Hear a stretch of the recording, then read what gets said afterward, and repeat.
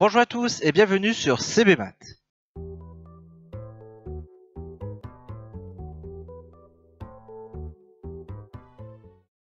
Dossier de CAPES mathématiques, session 2017, numéro 5. Thème Optimisation.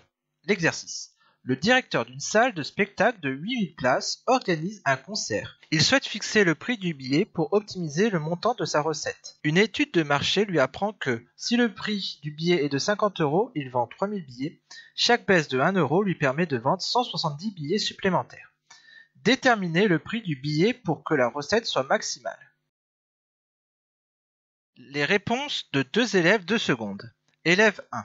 Sans aucune baisse, la recette s'élève à 150 000 euros. Si je fais 5 baisses, le prix du billet est de 45 euros. Le nombre de billets vendus est de 3850. La recette fait 173 250 euros. Si je fais 10 baisses, le prix du billet est de 40 euros. Le nombre de billets vendus est de 4700. La recette fait 188 000 euros. Si je fais 20 baisses, le prix du billet est de 30 euros. Le nombre de billets vendus est de 6400. La recette fait 192 000 euros. Plus on fait de baisses, plus la recette augmente, mais la salle contient 8000 places. Comme 8000 moins 3000 sur 170 est égal à 29,41, on peut faire 29 baisses. Le prix le plus intéressant est donc 21 euros. Élève 2.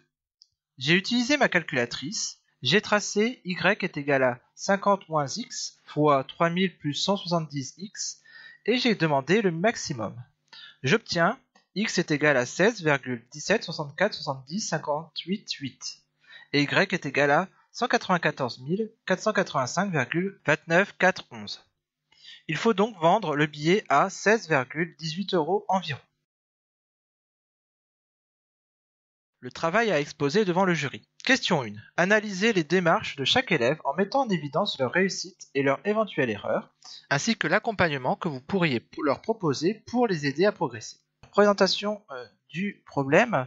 Donc ici c'est un problème d'optimisation, donc on voudrait savoir euh, le prix du billet pour que la recette soit maximale. Sachant que le prix du billet, s'il est vendu à 50 euros, il fait euh, donc 3000 visiteurs. 3000 visiteurs. Et bien entendu, ici, chaque baisse d'un euro va lui rapporter 170 visiteurs de plus. Sauf qu'en baissant le prix indéfiniment, bah, il va vendre plus peut-être plus de billets, mais moins cher. Donc la recette va peut-être se tasser. Donc on verra que cela euh, est régi par une fonction du second degré qu'on va, euh, définir plus tard. Alors, l'élève 1, alors l'élève 1, il fait euh, un raisonnement à tâtons, donc il calcule bien le prix du billet, le nombre de billets vendus et la recette. Donc il arrive jusqu'à 20 et après, il dit, bah, plus, plus on fait de baisse, plus la recette augmente. Et ensuite, il fait une sorte de moyenne, 8000 moins 3000, donc nombre de baisses, nombre de baisses possibles, 8000 moins 3000 divisé par 170, qui arrive à 29,41, donc 29 baisses. Donc le prix est de 21 euros. Donc en fait, la réponse qu'il donne est fausse, bien entendu. Euh, ce qu'il aurait dû faire, en fait, c'est qu'il euh, aurait dû continuer à calculer si je fais 25 baisses, ce prix est, si je fais 30 baisses, ce prix est, etc. etc. L'élève 2, lui, il utilise sa calculatrice. L'élève 2 euh, donne ici une expression de fonction qui donne donc la recette totale en fonction du nombre de baisses. Donc ça ne constitue pas une démonstration. Ensuite, il dit que il doit vendre le billet à 16,18 euros environ. Alors, Déjà, on peut s'interroger sur la pertinence euh, des arrondis ici, parce qu'on pourrait arrondir au centime près, hein, c'est pas c'est pas euh, un problème. Et donc ici, en fait, il dit 16,18, ça correspond au nombre de baisses qu'il faut pour atteindre le prix, euh, donc le, prix de vente dont la recette est maximale. Donc ici, c'est pas à quoi correspond x en fait. Donc ici, il faudrait donc plus de détails dans la démonstration, mais 50 euh, moins x 3000 plus 170x, c'est une bonne expression de fonction pour résoudre le problème. Donc ici on va résumer, élève numéro 1, donc il a un raisonnement à tâtons, il aurait dû continuer son raisonnement pour voir que sa réponse finale est fausse.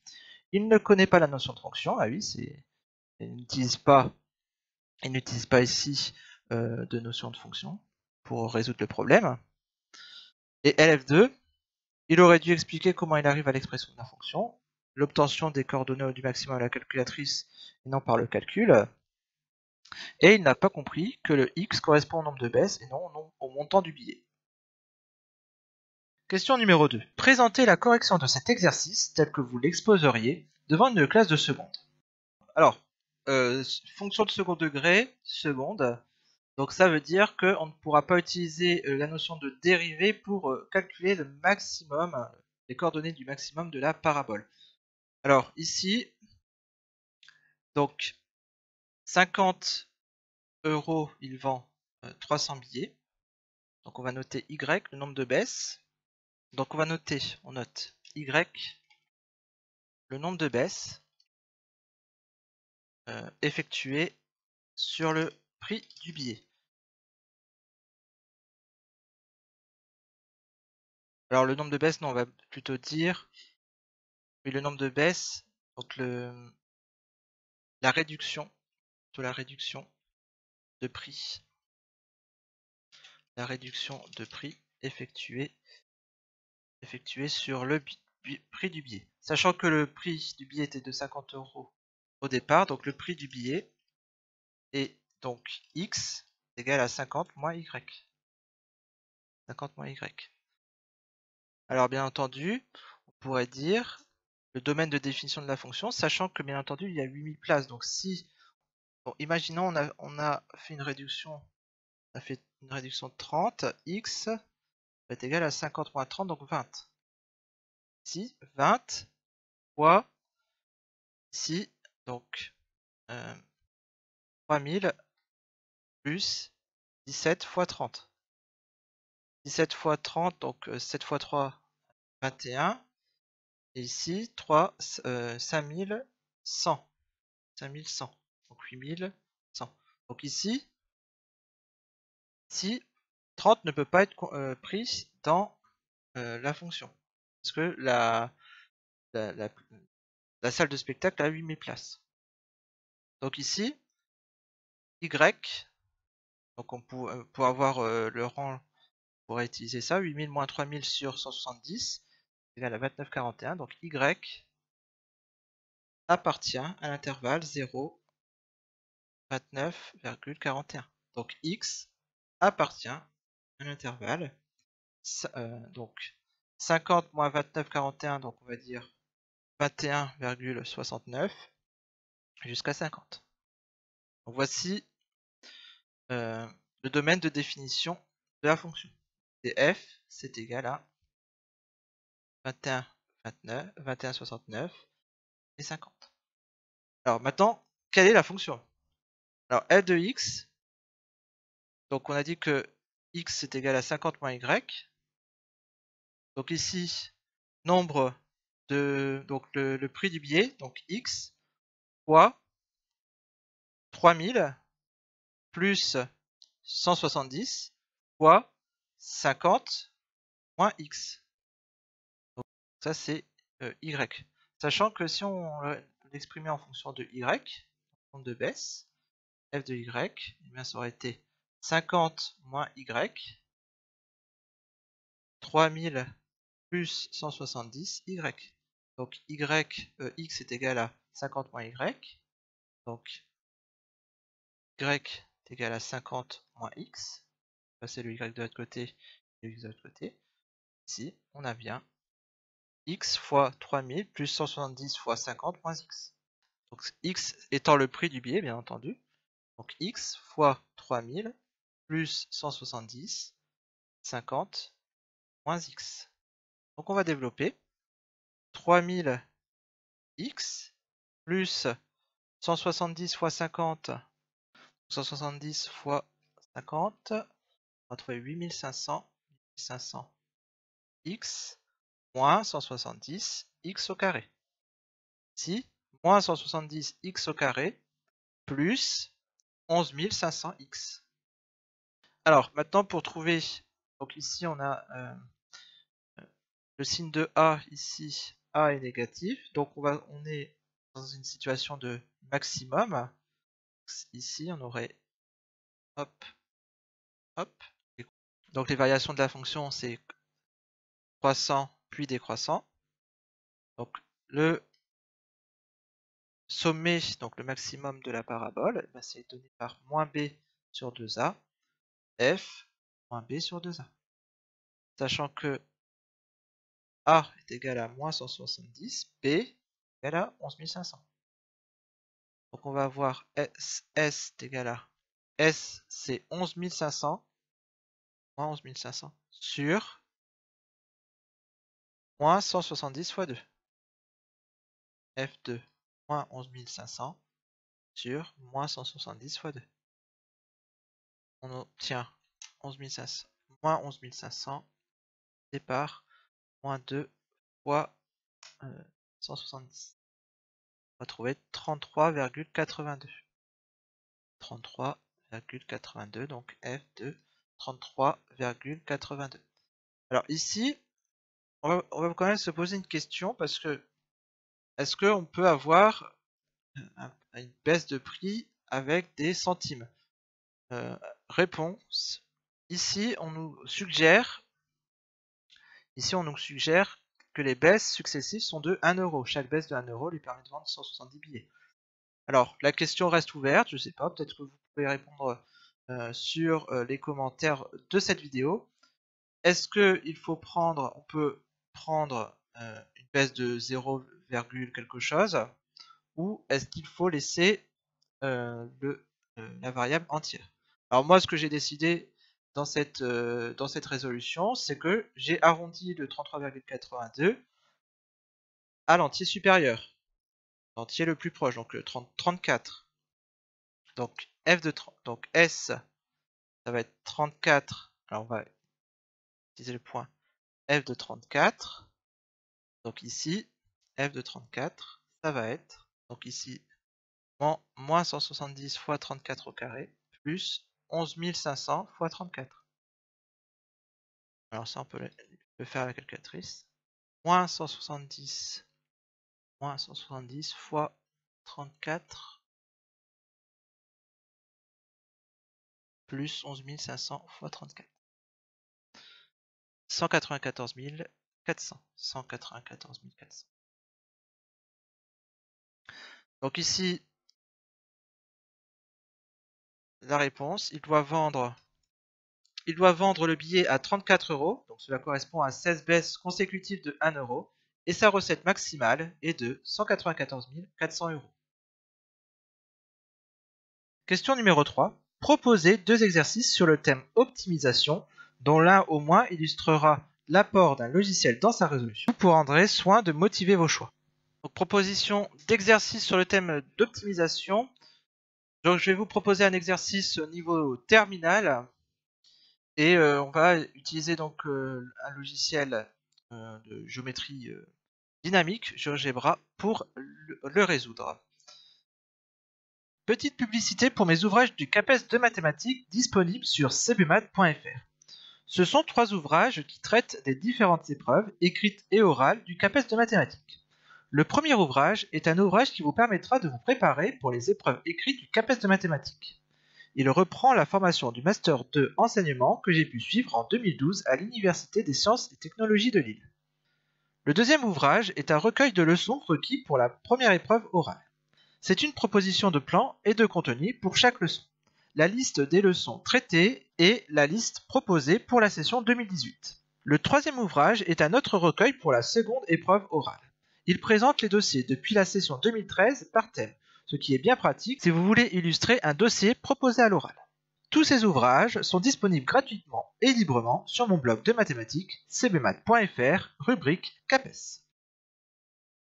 L'enclos exponentiel. Un éleveur veut construire un enclos rectangulaire pour ses vaches. Son terrain disponible a la forme suivante. Soit OIJ a un repère autonomé d'unité 100 mètres. La parcelle est délimitée par les droites x est égal à 0 x est égal à 1, y égal à 0 et la courbe représentative de la fonction f sur l'intervalle 0,1 est telle que f de x est égal à x exponentielle de x.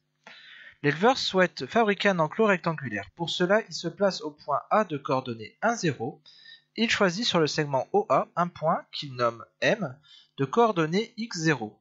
x est compris entre 0 et 1. Et il trace le rectangle. AMNP tel que n soit de coordonnées x f de x tel que f de x est égal à x exponentielle x. Où doit-il placer le point M pour que l'enclos rectangulaire AMNP soit d'air maximal Si une vache a besoin d'un espace de 10 mètres sur 1,5 m pour pouvoir vivre dignement, combien de vaches peut-on mettre dans l'enclos maximal? Donc ici, si OM, est égal à X, M moins A est égal à 1 moins X. Donc A pour coordonner 1, 0. Après, on convertira euh, par les unités. Euh, donc 100 mètres. Alors, l'air de AMNP. AMNP. Donc c'est égal à. Donc ici, N a pour coordonnées X, F de X. Donc la longueur Mn, ça va être F de X. AM, c'est 1 moins X. Donc ici, 1 moins X fois f de x. f de x est x exponentielle x. Donc 1 moins x, x fois exponentielle x. Euh, donc on peut développer. Ici on a x moins x au carré exponentielle de x.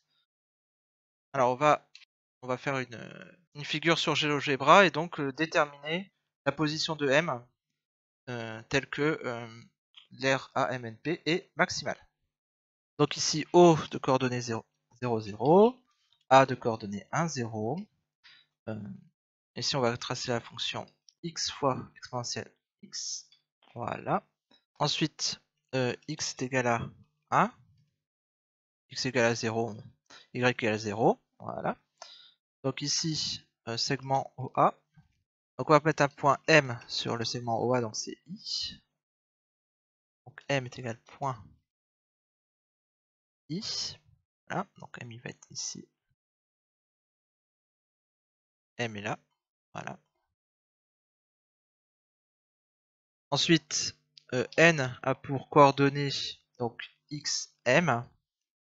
XM. Donc F de XM. Voilà. Et P a pour coordonnées, donc là il faut que ce soit un rectangle, donc euh, abscisse de n, ordonnée de A. XA, YN. Voilà. Polygone AMNP. Voilà. Et ensuite, donc on peut voir l'évolution. Donc ça va être euh, Q1. Voilà. Hop. Donc ici, il a l'air donc en 0,60 de 2,63 à un maximum et ensuite ça se rétrécit. Alors on peut donc on peut déjà euh, voir, euh, on peut tracer un point T de coordonnées xm, donc x et q1. Voilà. Et on peut animer la fonction. Donc euh, la trace, animer la trace, afficher la trace. Voilà. Hop.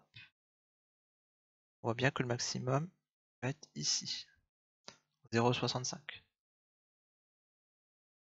Alors, on avait dit que y, c'est égal à x moins x au carré exponentielle x.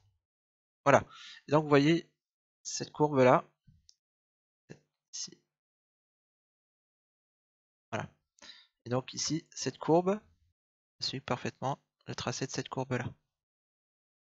Alors maintenant, on va déterminer donc le maximum algébriquement par la dérivée, sachant que je vous rappelle, euh, cet exercice, on peut le donner à niveau euh, terminal S. Alors, euh, donc, la donc on va noter a de x, a de x est égal à x moins x au carré exponentielle x. Ainsi, a' de x est égal à.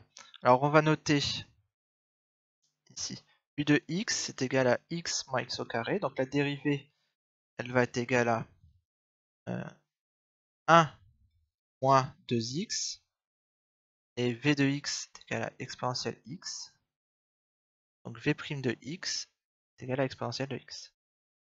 Ainsi, a' de x est égal à u', 1 moins 2x fois v de x exponentielle x plus x moins x au carré exponentielle de x. ux u, de x fois v' de x.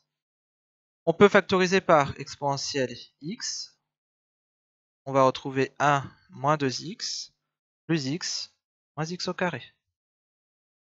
1, euh, donc 1 reste tel quel, moins 2x plus x, donc ça fait moins x, moins x au carré, exponentielle. Alors, pour trouver le maximum de cette euh, fonction, il faut résoudre a' de x est égal à 0.